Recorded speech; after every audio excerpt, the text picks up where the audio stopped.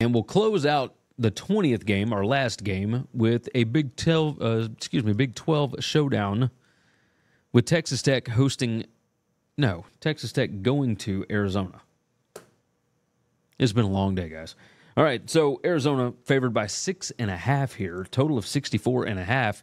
And my stats model has Arizona by 1.3. My power rating plus stats has Arizona by 3.12.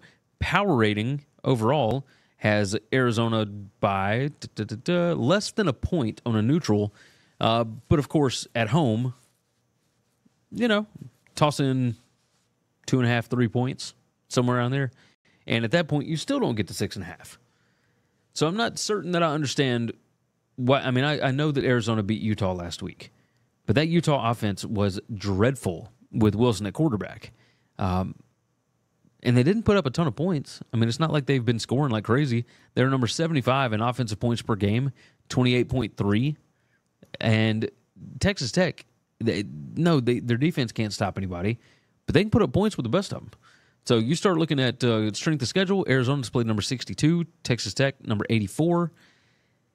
And this is just too many points. Like I, I think that Arizona's going to be able to throw the ball on these guys, but you come down here and look, Texas Tech's going to be able to throw the ball on them. It, it there's and no, I'm not saying that that Arizona's defense is terrible, but I think Texas Tech's offense is way better. You start looking at average field position, scoring opportunities per game, points per scoring opportunity, etc. That all skews Texas Tech's way. Uh, five factors plus talent. Texas Tech number 44, Arizona number 53. Texas Tech is the slightly more efficient team overall. Yeah, give me Texas Tech plus six and a half on this. I I feel pretty good about them even leaving Lubbock. I think they're uh, I think they are getting healthy and they are looking a lot better right now.